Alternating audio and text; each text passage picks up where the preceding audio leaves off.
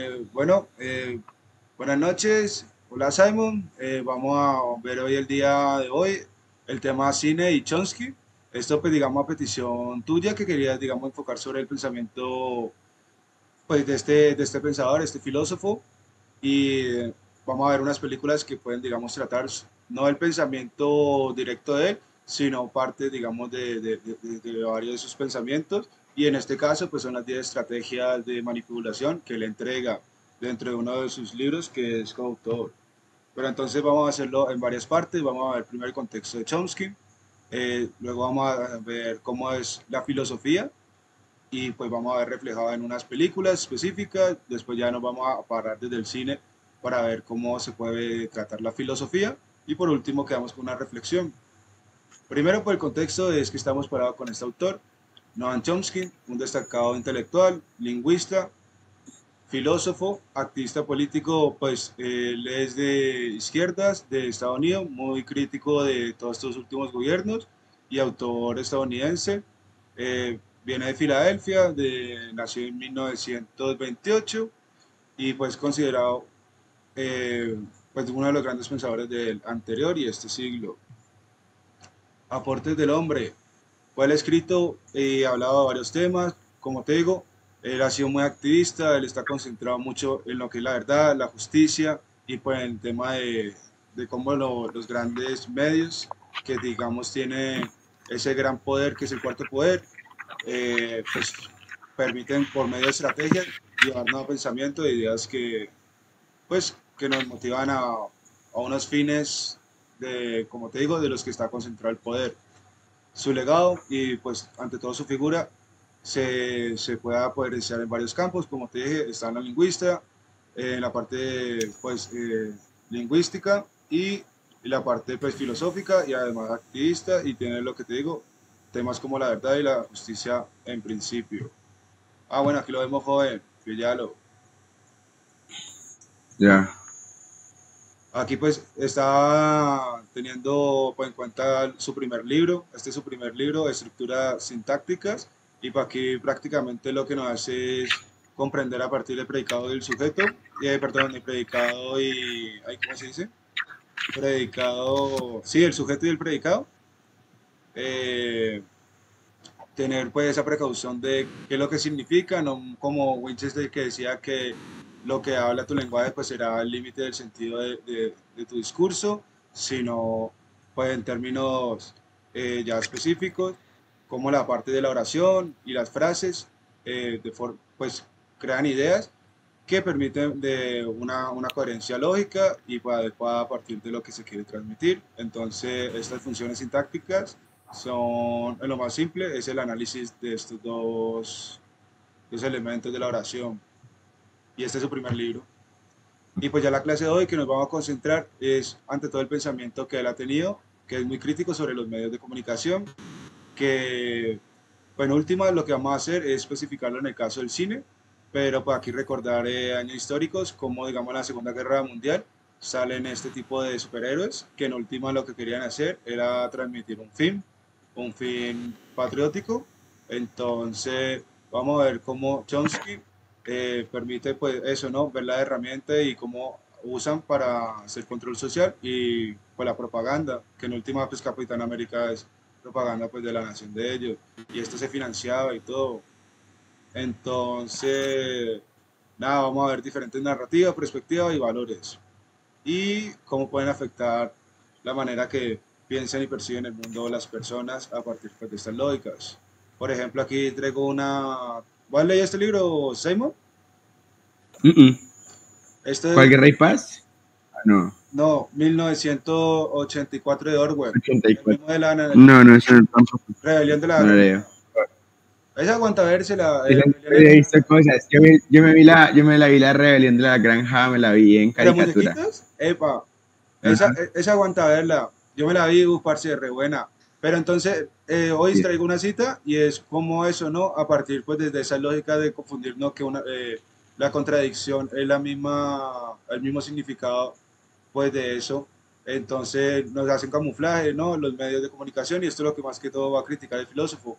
¿Cómo nos pueden decir que la guerra es paz, la libertad es esclavitud y la ignorancia es fuerza? Pero entonces vamos a verlo en el caso del cine. Aquí ya vimos un caso de, de cómics. Aquí vemos un caso en la literatura ya pues con un autor que ya era muy crítico. Esto es una distopía. Y... Ah, bueno, esto es importante. ¿Cómo no, nos enfatiza la necesidad de trabajar la información de manera objetiva y cuestionar las narrativas presentadas? Entonces, como vemos aquí, eh, lo que hemos visto en las clases, sobre el viaje del héroe. Aquí vemos que el protagonista de esta historia es un superhéroe que es americano y para el contexto de la Segunda Guerra Mundial y para aquí vemos que eso no está acabando Hitler. Y para aquí ya es lo de los medios de propaganda. La supervigilancia. Entonces, pues esto es ante todo una distopía, pero pues la idea de todas estas narrativas, esta no tanto, esta era venderte algo propagandístico, pero esta, digamos, es alertarte y ser, pues, digamos, lo que decía el autor Chomsky, de manera objetiva. ¿Crítico? La, narrativa, sí.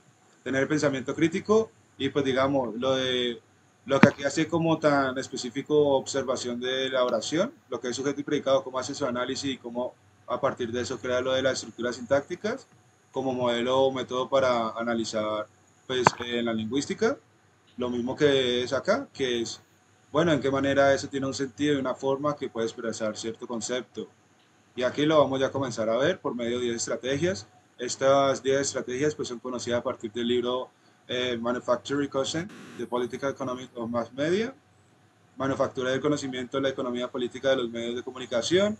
Esto tiene un documental. Aquí pues te dejé el enlace para que leas un poquito sobre la película eh, si me dices si la necesita, pues ya cuadramos por otro medio. Pues me enviar la presentación, ¿cierto?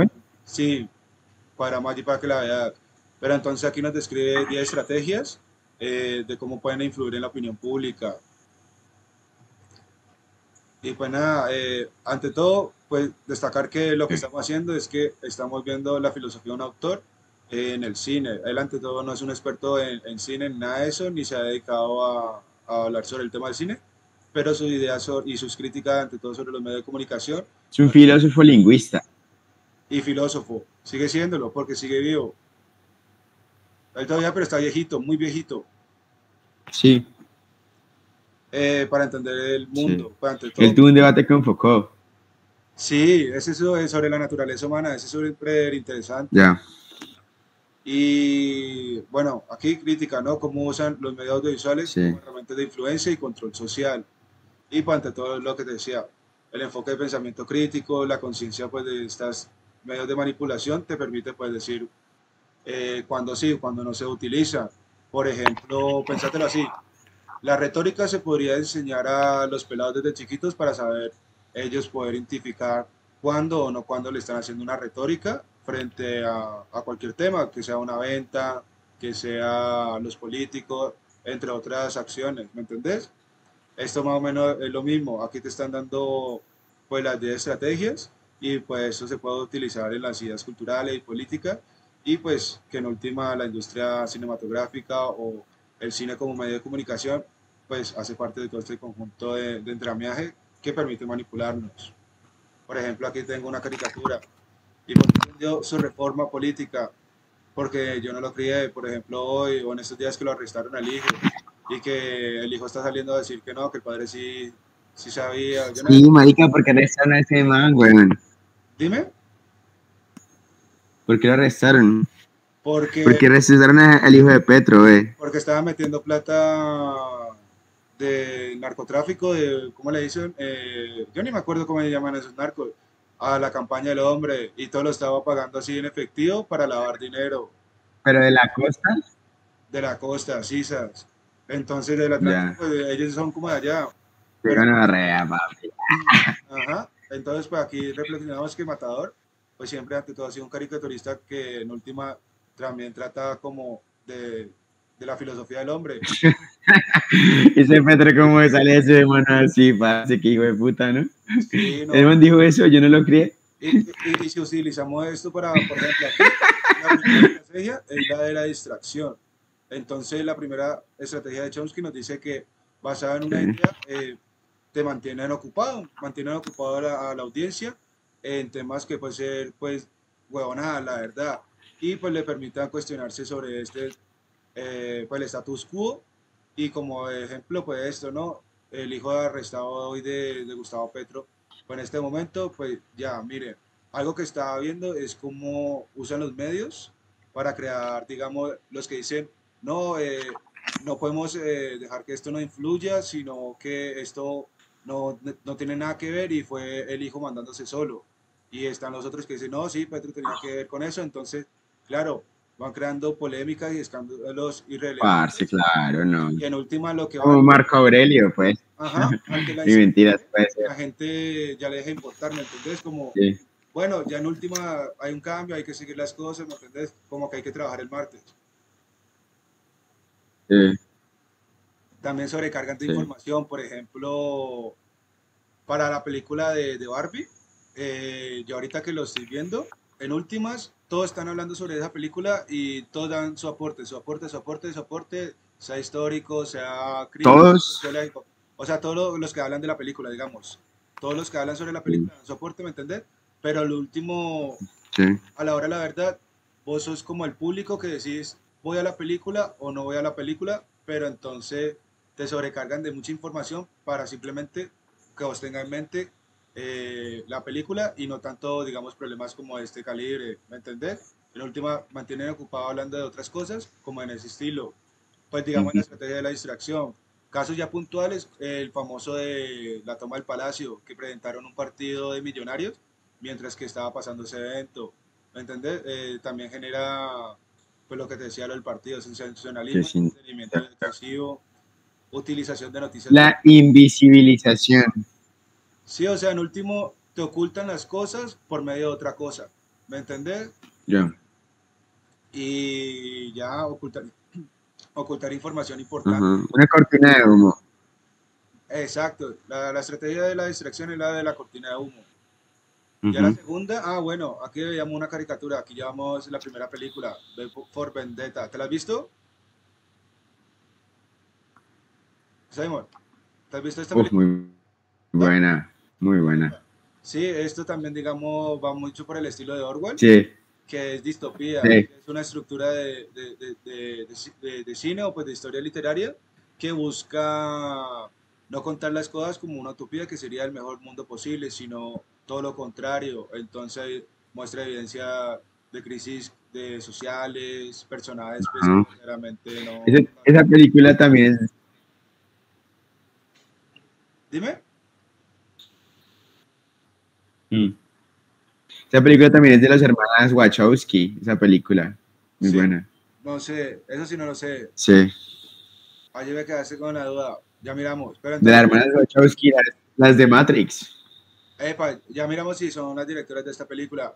Pero entonces la segunda estrategia es crear problemas y luego ofrecer soluciones. Por ejemplo... Una, no, perdón. Dime. Por ejemplo, en este momento... Eh, Continúa.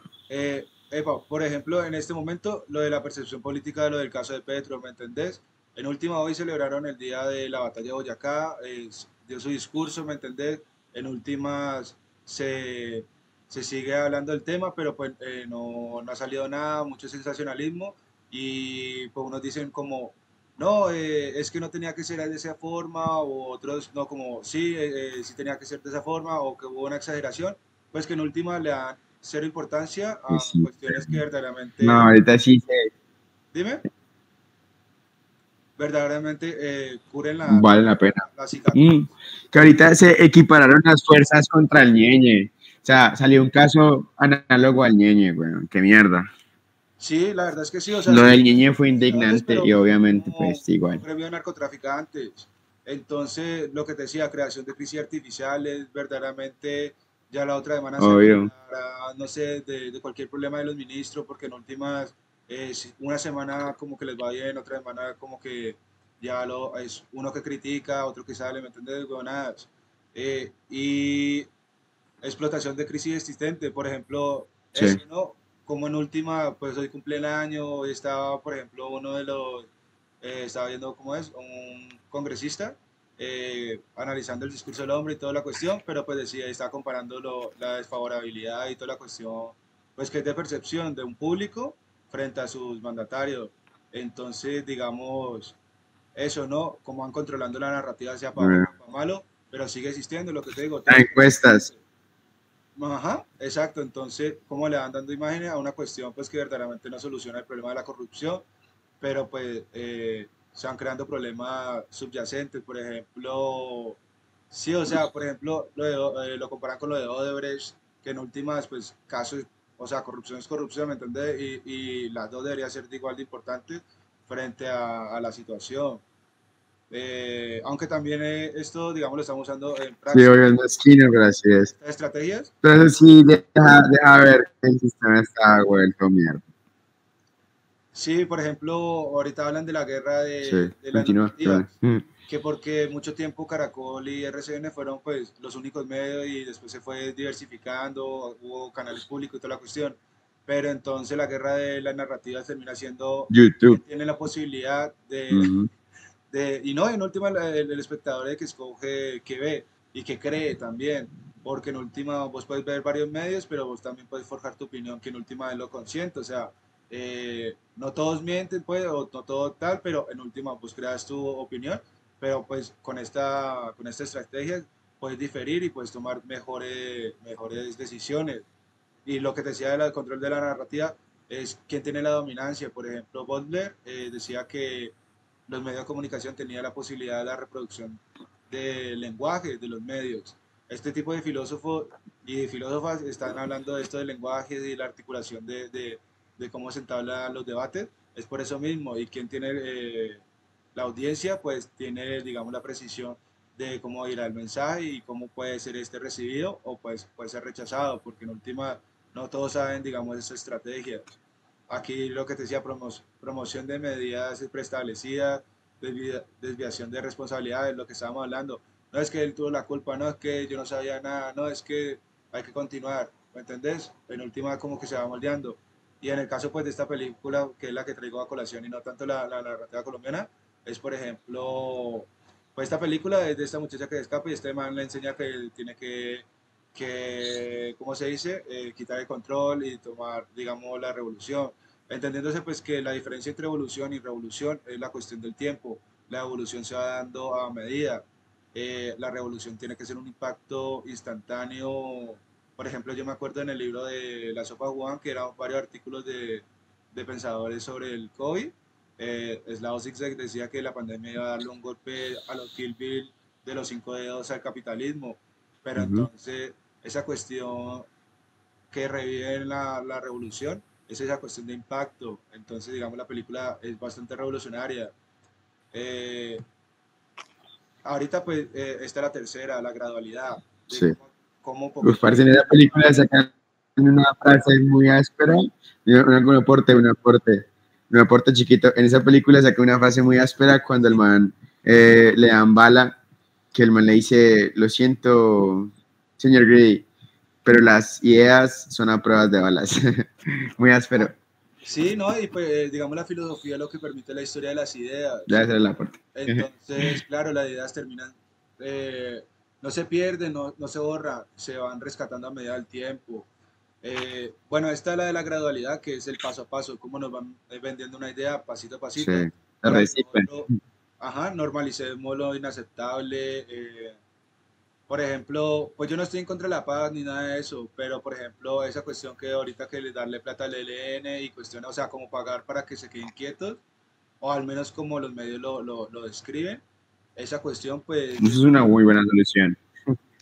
eh, es una buena solución. O sea, digamos, a la medida de la verdad, es que en qué medida puedes o no pagarle porque ellos no pueden entrar, digamos, a la carrera militar común y corriente, ¿me entendés?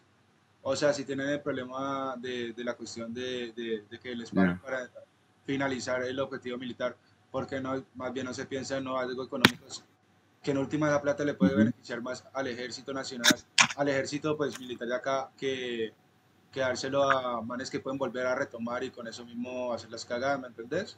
Pensándolo pues digamos en esa cuestión de que, uy, en qué medida puede eso no darles plata a, pues, a gente que, que, eso no distorsionaba o pues, hacía ese tipo de lesa de humanidades, pues es una vía de, ¿cómo es? De meterlo a la, a la sociedad, o sea, como es una buena vía. Eh, cambios aparentes e insignificantes. Bueno, aquí voy a cambiar ya, digamos, de, de ejemplo. ¿Esta película la has visto? ¿Spotlight? Simon. No. ¿No? Bueno, te cuento rápidamente. Estos son unos periodistas de mm. una prensa y ellos revelan el, el caso de pues que los, los sacerdotes estaban violando niños. ¿Y cómo se dan cuenta de esto? A partir de una pista. Y es que revisando los libros, todos aquellos casos que ellos veían que habían salido como casos, pues que, o no, ni siquiera habían salido en la prensa, como que la gente había denunciado, pero que no le habían parado bola, todos esos sacerdotes habían salido como retirados de los libros de, de, de la empresa, pues de, de, no sé, de Estados Unidos. Pero entonces estos periodistas se van dando cuenta cómo paso a paso van ocultando ese tipo de cosas y quieren eh, pues normalizarlo inaceptable, ¿me entendés? Entonces, digamos, con la cuestión de, de la violación de niños. Cambio aparente insignificante, lo que decía, como la pista de ellos de que han sido retirados eh, les permitió pues ver que esto era, esto era sistemático. Manipulación del tiempo y la información, de cómo lo que te decía antes no aparecía en prensa, ni siquiera se podía hablar, le culpabilizaban porque, digamos, parte de, la estructura cristiana como nos la presentan tiende a ser pues de tener culpas y tener nosotros pecados. Entonces, cuando vos tenés pecados, pues sentís culpabilidad, pero eso más que todo por la, lo, nuestro psicológico de qué lo bueno y qué es lo malo a partir de nuestra moralidad y cómo vamos creyendo o haciendo las estructuras de sistemas de creencias a partir de lo que nos enseñan los cursos, las instituciones, todo, ¿me entendés? Entonces, pues eso va creando sistemas de creencia. Eh, y la utilización de la falta de memoria o de la desinformación. Por ejemplo, lo de cambios disfrazados, lo que te decía, de cómo nos va metiendo la culpa poquito a poquito y después nos olvidamos que verdaderamente eso no es así o eso no de otra manera. El diferir se basa en posponer eh, la toma de decisiones eh, o implementación de acciones importantes, especialmente aquellas que pueden ser impopulares y controvertidas. Por ejemplo, hay un pensamiento que, o una pregunta que, un pensamiento, no me acuerdo, o una, una cuestión que decía, hay, o sea, ¿cómo es? Toda decisión injusta no te injusto, así como no, no eres justo a partir de tomar decisiones injustas. Y es como, bueno, como a partir, digamos, de, ese, de, de, esa cuestión de posponer, de, de, dejar para después cosas que deberían hacerse hoy, pues lo que permite, digamos, o la evolución o, o, la revolución. Por ejemplo, si comparamos a un año de presidencia hoy de Petro a la Duque, hoy sí tiene más matices lo de la paz, pero en últimas, pues sí, hay cositas como que hay que ir revisando, pero pues tiene más matices, a cambio el año de, Duque pues ya estaba verdaderamente todo vaciado.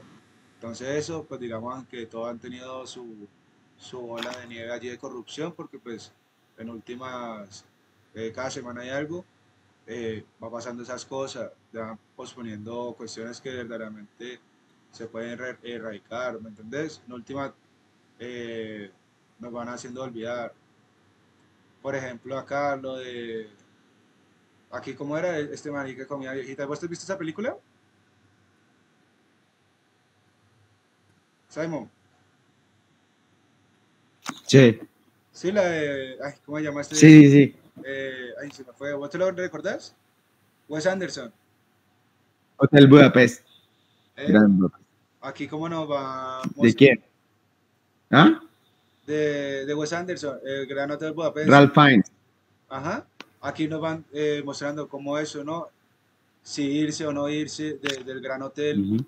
pues al final no, lo que te digo, entre la incertidumbre, la gente se, va, se olvida y pues lo deja de lado, ¿me entendés? Y ya no es, tan, eh, no es tan importante eso que verdaderamente puede ser muy importante. Bueno, ah, bueno, aquí te traje otra diferente.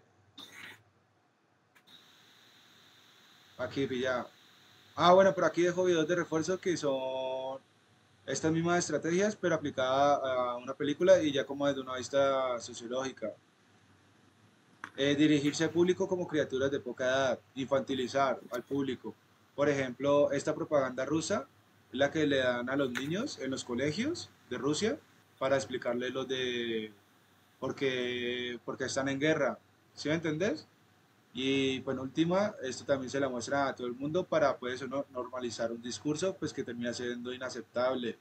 Y digamos la caricatura y la animación, como vimos aquí con de Capitán América, permite mucho eso. Sí, eh, antes eran los gráficos, hoy en día puede ser lo de la animación. La prensa, hasta el mismo cine. Entonces... Las imágenes. Sí, todo lo gráfico, todo lo, visual, todo lo... Eh, tenés que preguntarte cuál es la intencionalidad. Si la intencionalidad es publicitaria, pues ya, ya, puedo ir reconociendo, ah, bueno, cuál puede ser su finalidad, ¿me entendés? Por ejemplo, Barbie. Barbie en últimas puede tener todo tipo de ideologías, pero en últimas lo que hizo fue hacer que las niñas compren. Vender, güey. Exacto, vender a la Barbie. Y ya, eh, ahorita la película más taquillera, que me parece muy áspero porque es la primera mujer que, que hace la película más taquillera. Y ¿Le hizo Mattel? Exacto, Mattel. ¿Quién hizo, la película? Ajá, con Warner. Y tiene 54 películas más para hacer sobre... ¿Mattel la hizo? Va a ser 54 películas. Sí, entonces, ¿cómo no? No, pues claro. Eso, eso Ahorita van a le echar a Barbie más. imágenes y símbolos simples, repetición constante, desinformación y falsedades. ¿Me entendés? ¿Cómo nos van cambiando la percepción? Entonces, una de las técnicas es esa. Uf, mm. esta película sí te la recomiendo muchísimo. Thank you for smoke, smoking. Gracias por fumar. utilizar el aspecto emocional más reflexión Aquí esta película es de un man que trabaja para las tabacaleras. Ese man literalmente tiene que ir y vender que las tabacaleras son buenas y toda la cuestión. Y aquí van contando cómo van haciendo la estrategia. Por ejemplo, la cuestión de vender cigarrillos, pues tiene que tener publicidad que diga como no, no se puede consumir, o esta cuestión, por ejemplo acá, que no, no se puede consumir, eso lo tienen que tener, pero entonces usan el cine y el poder de eso, ¿no? De de, bueno, el plano más reflexivo es el hombre fumando, la pelada fumando. Entonces eso es lo que lo hace es emocional. O por ejemplo, hay películas que, por ejemplo, me permitieron ver que en, el siglo pasado el cigarrillo era como antídoto o receta para curar cosas. Por ejemplo, en el discurso del rey le recomienda a semana fumar para su tartamudez y toda esa huevona que tenía ese Pero sí, o sea, cómo usan la emocionalidad para vendernos el cigarrillo la atención selectiva, la empatía y la identificación, la conexión con los valores personales. Sí. Mm, listo. Pero esta película, por ejemplo, sí. ¿Vos la has visto o no? Hay que pillarnos el trailer. Pero hay que pillarla. Esa, esa sí se aguanta verla bastante. Eh, la de Thanks for Smoking, sí. Sí. Truman Show también me la ve. Epa, la de Truman Show, áspera, es el clásico La mito de la caverna. Pero entonces esta nos permite entender la, mantener al público en la ignorancia y en la mediocridad. Como sabemos, pues que Truman vivía en un programa de televisión que además no sabía que existía. Y para la hora 20, eh, al final, la película o el conflicto de la película era ese man, bueno, se da cuenta de esto, como escapa y hasta el último momento lo intentaron convencer a que se quedara ese en, lo que te digo, la ignorancia o en la mediocridad de un mundo pues que verdaderamente todo le estaba seguro y todo estaba resguardado y él decide pues eh, decir su frase y de allí pasa lo de, lo de la gente apagando el televisor que en última lo que nos dice es, bueno, pues cada quien sigue con su vida, ¿me entendés? Y ese, y ese eso se basa en controlar y limitar los accesos a la información relevante y de calidad, así como en promover contenidos y mensajes que fomente la desinformación, la superficialidad y la falta de reflexión crítica en la sociedad. Sí, por ejemplo, pues la película de Barbie nos permite reflexionar sobre el tipo de, de modo de sociedad, patriarcado, matriarcado, eh, realidad. Eh, por ejemplo, que los, los dueños de Mattel se venden como, ¿cómo se dice? Se venden como los malos, pero como estrategia pues de esto, ¿no? De decir que ellos tienen el peso del poder, pero pues como lo vendemos como los villanos, podemos caerle, no, no, no puedo identificar mayor que verdaderamente cuestionar la toma de decisiones, cómo nos venden productos hacia de película eh, en el cine así, que en última, muchas veces hasta de pronto puede decir el mensaje importante, pero pues el mensaje que, que, disfraza lo que es el sentido y era renovar la o rebranding de la marca de Barbie. Eh, control de los medios de comunicación, la desinformación y noticias falsas, fomento del entretenimiento superficial, uso del, medio, del miedo y la intimidación, manipulación de la cultura popular. Todas estas cuestiones nos permiten pues, mantenernos en la ignorancia y en la mediocridad. Por ejemplo, vos ves ahorita que se viene lo de la alcaldía, todo esto para votar, vos ves, todos van a tener su canción. ¿Por qué? Porque en última la gente queda más emocional y con la memoria, eh, la, la cuestión de la música y a la hora de la verdad, todos los presidenciales pasados, todos tenían sus canciones y tenían sus canciones para objetivos específicos. Por ejemplo, de Rodolfo está un resto de género haciendo canciones sobre él. Reforzar la autoculpabilidad. Eh, bueno, la felicidad, esta película, es súper tierna, la verdad es súper bonita. Yo creo que es la mejor del hombre, pero pues ha hecho muchas. Eh, se basa en manipular la percepción y el pensamiento de las personas para que asuman la responsabilidad y la culpa por problemas, situaciones que están fuera de su control. sí, esa película me inspiró a ser economista, güey. Vas a meterte el mundo de las finanzas, el mundo financiero, todo eso es áspero, pero digamos, aquí el reforzar la autoculpabilidad, allí se, y pues visto que todas las películas que traía son gringas, pero entonces, digamos, del cine gringo está la cuestión de de llegar a un punto de vida, pues que eso, ¿no? Seas pobre o seas rico, vas a llegar a, esa, a esa cuestión que sí se puede vivir en la sociedad y pues que en última lo que hace es culpabilizarnos nosotros si no logramos llegar a esas, a esas metas y a esas cuestiones. Entonces, aquí dice lo de darle a las personas que asuman responsabilidad y culpa por situaciones o cosas que están fuera de su control. Por ejemplo, los estoicos decían, pues, a las cuestiones que ellos podían hacerle cambio, pues darles coraje y a las cuestiones pues, que ellos no podían hacer nada, pues verdaderamente, de, ¿cómo se dice? Darle paciencia, darle la cuestión pues de, de que verdaderamente soportar, porque en última uno no puede controlar el mensaje total. Por ejemplo, si yo voy a hacer la película de Barbie, yo no puedo controlar el mensaje total de lo que siga de Barbie pero sí que se puede lograr lo que los objetivos, que es la película más taquillera y toda la cuestión, a partir pues de que eso, ¿no? Cómo funciona con el público y cómo la reciban y en últimas cada semana de una película diferente, entonces no importa si a las... público? Me imagino. Entonces lo que importa es que esté sonado y vos estés con el top of mind allí pensando en la película y que la tenés que. No, pero la, la, el, la pregunta... Sí, hazme la pregunta. ¿Aquí? Sí, no, pero la pregunta es, ¿el rating de Barbie era para, para todos? ¿Cómo? Pues para darse, la verdad yo creo que sí, eso fue público familiar, pero hay mucho, mucho que habrás ido así. Yo, por ejemplo, eh, pues yo no me la he visto, ni tampoco he salido a vérmela, pero algún día yo creo que me la veré. Si yo soy fijo, me la veo. La de Oppenheimer sí me la quiero ir a ver con todos los juguetes, así, bien áspero, sonido áspero, que se vea la, la explosión áspero. Uy, sí, ¿aguanta todavía está? Sí, pues esperemos que sí. Si no me la, o sea, yo me la quiero ver. Oppenheimer todavía, todavía estará en. Voy a hacerla en Chipichapa. Verla el viernes. Pero sí, o sea, en última. Sí, yo creo para verla en inglés. Epa, pero en última, digamos, para, para aquí reforzarlo de la autoculpabilidad, es hacernos sentir como de culpa como víctimas, manipulación de la autoimagen, como por ejemplo el último capítulo de Black Mirror, de, de cómo cogemos una imagen y cómo culpabilizamos a alguien por haber perdido el control de su imagen y toda esa cuestión. Exigencias irracionales, responsabilización por problemas sistemáticos. Eh, ¿Me entiendes? O sea, cómo cómo hacemos recaer el problema a la gente para no, o sea, librarnos, limpiarnos las manos. Fomentar, eh, ya esta nueva estrategia, esta otra estrategia es fomentar al público a ser complaciente con la mediocridad. Pues digamos la película de, de American Beauty, si no te la has visto, yo creo que uf, de mis favoritas, verdaderamente me la veo muchísimo.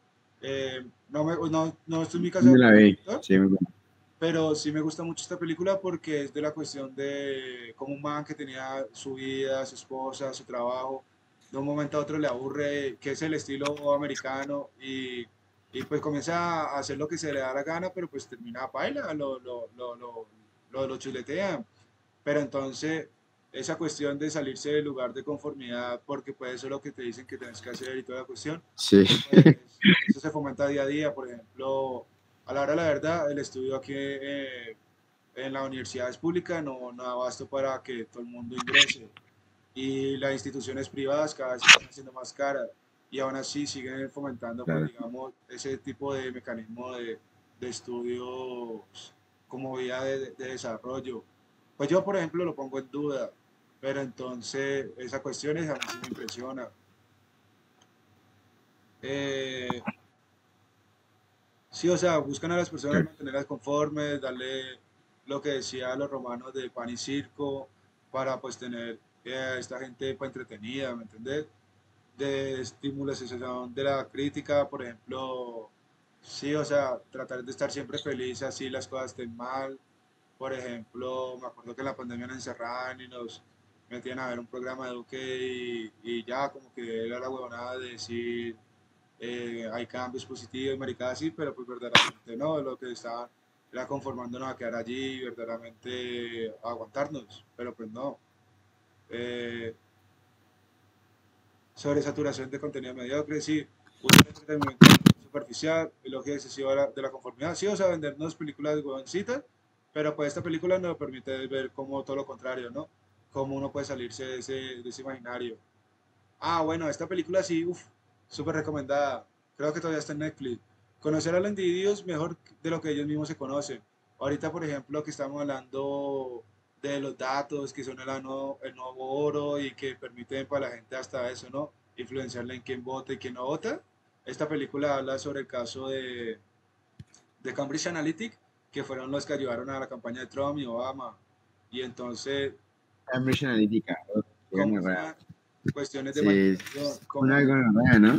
Sí, por ejemplo, como datos a partir de si tenían vehículos tal, vehículos de otro modo, bicicleta o ningún vehículo, iban o no iban a votar.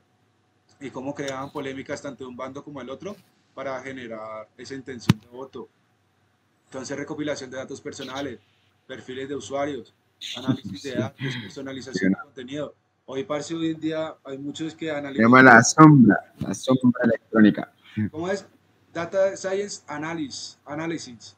Parce, uno no es huevonadas que uno decía antes eso no existía, pero es para esto mismo, para llegar a estos niveles de, de Análisis. manipulación, de control social y pues de, de, de meternos ideologías. Yo Sí. la la pregunta que traigo hoy a colación es, ¿en qué medida logramos... Estudiarnos Eh, y nuestras preferencias. No, y también abrirnos al abanico porque en última lo que va generando son burbujas que no nos permite salir de allá y ya lo Continúo. último es que vos va llegando y te va recibiendo, entonces vos ya no vas encontrando la música como arqueólogo, sino que te va llegando semanalmente a partir de, de tus gustos y eso pues, eso genera lo que te digo, una burbuja. Entonces digamos mi, mi invitación es a eso, ¿no? A que medida logramos soñar mundos no pensados antes, o sea, no antes de, de la generación anterior, sino verdaderamente pensando un mundo donde verdaderamente el trabajo pueda ser un juego, bajo la lógica de industrial de la reproducción de un tipo o tipos de ideologías eh, o lógica hegemónica. Por ejemplo, aquí hemos hablado de varias. Mira, aquí la cuestión política, cómo influencia para la democracia.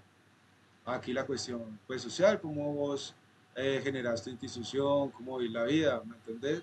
Aquí la cuestión pues de eso, ¿no? Cómo a partir de, de una imposibilidad y una barrera, pues llega a superarse toda la cuestión, pero en última, todo esto en reflexión a estas estrategias que lo que te digo, buscan el control y la promoción de fines tanto publicitarios como pues eso, ¿no? De ideas o, o prácticas que buscan en, los, en las personas. Quedarnos mediocre, hacernos pensar que, que fumar no hace bien inteligentes, eh, guerras que no son guerras, lo que decía, como nos dicen que esa guerra es tolerable. eh, aquí, por ejemplo, es lo del hotel, cómo era la relación con el hotel. Aquí, cómo se dan cuenta del caso de, los de los, eh, ¿cómo es? Eh, padres, sacerdotes. Aquí, cómo toman el control pues, de eso, ¿no? De ya algo que los tenían en la supervigilancia. Y para aquí, pues nada, disfrutando de, de qué pasa el chino ese.